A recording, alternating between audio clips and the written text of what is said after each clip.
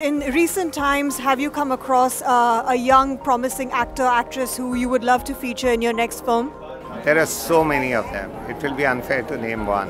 Our country, especially South Asia, is full of so much talent. There's a volcano waiting to explode, and talent will come out from small town India, from villages, from rural India, like it came for the cricket team and then you'll see wow. We see so many of the star kids who have been launched recently over the last few years, and they're all doing phenomenally well. In that sort of a space, how would you say uh, the challenges of a regular person to break through that industry to come?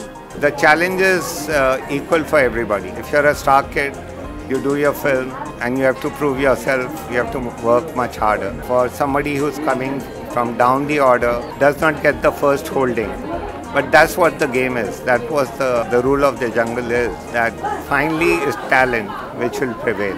Hey, this is Rakeysh Omprakash Mehra and you're watching DXP today.